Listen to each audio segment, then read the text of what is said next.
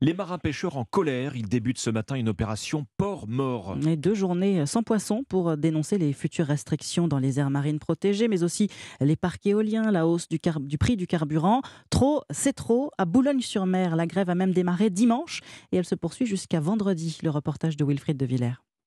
Dans le bassin Loubet, artère de la pêche boulonnaise, il n'y a presque pas âme qui vive. Voilà quatre jours que les bateaux sont taqués.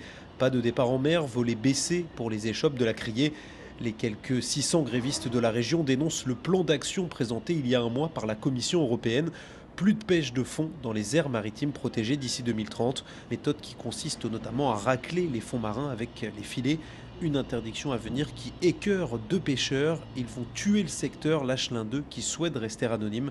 C'est aussi la crainte du maire de Boulogne-sur-Mer, Frédéric Cuvillier. On condamne des segments entiers de la pêche, des emplois et des vocations, puisque désormais, euh, ce sont euh, finalement des métiers qui seront appelés à être mis en cause, voire à disparaître. C'est d'autant plus inopportun et déplacé que les pêcheurs eux-mêmes ont fait montre de beaucoup de responsabilités en participant à l'évolution de la pêche. Plus de 80% de la production du port de Boulogne est assurée par des dragues et des chaluts. Dans le Boulonnais, la pêche représente 5000 emplois, toutes filières confondues. Wilfried de Villers.